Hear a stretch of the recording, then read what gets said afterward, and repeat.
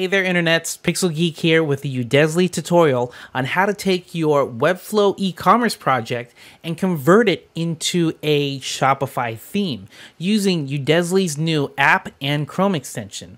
All right, now let's go to my screen and I'll show you how it's done. Now, before I started recording, I went and grabbed a free Webflow e-commerce template. And you can get this over at webflow.com slash templates. Now, for this conversion, you don't have to start from a template. You can also start from a blank page uh, and build it from the ground up. For, but for this demo, I'm starting with a template. All right, so this template has some pre-made pages, like a home page, uh, a products page. Ooh, burgers, nice.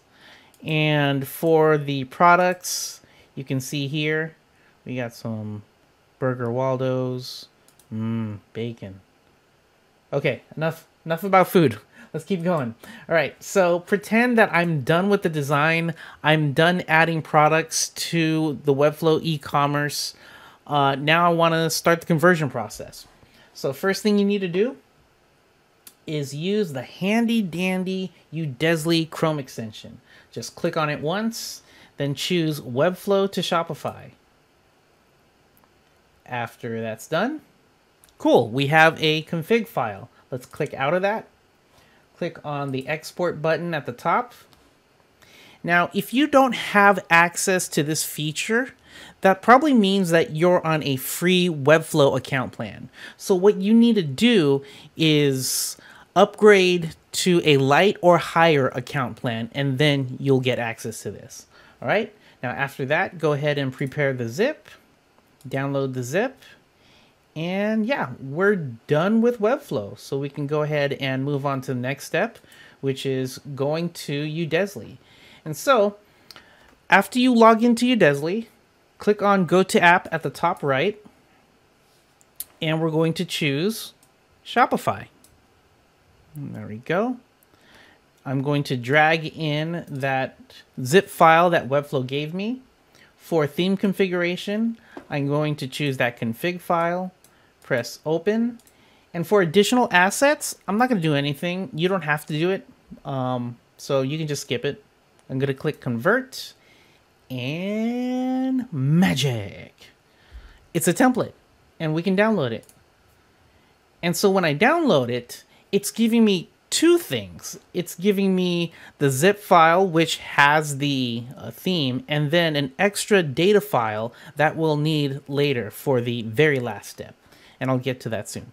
So let's go ahead and log into our Shopify account and let's go ahead and go to customize theme.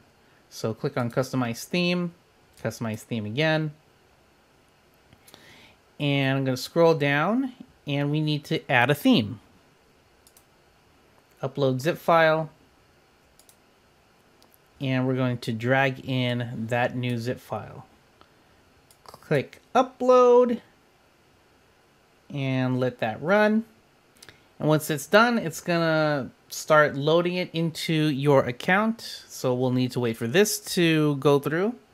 And there we go, just added. Now we just need to click on the actions drop down and click publish. And then publish again. And there we go. Our theme is published. So now we need to do one last step with this extra file that we have. So Shopify has a Webflow importer app inside of Shopify. And so we're going to do that. And we're going to log into the store. Paste it. There we go. Log in. Choose my account. Come on. We can do it. And finally, install the app.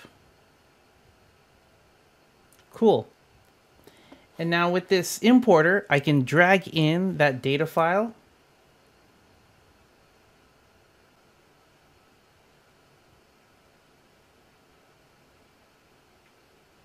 And there we go. All of our CMS items are project or our products and our e-commerce settings have all been transferred over to our Shopify store.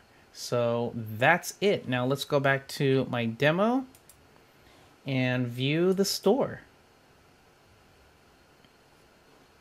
All right, so here it is.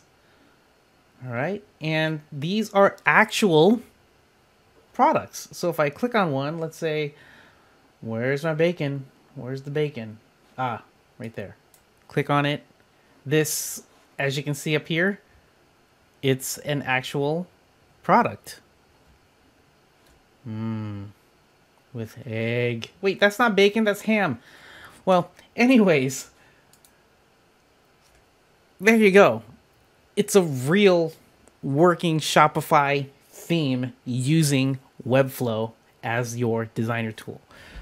So that's it. That's how easy it is. We've used the Chrome extension to create a config file. We exported the code, we installed our theme, and lastly, we imported our products, CMS, and e-commerce setting data into our Shopify store.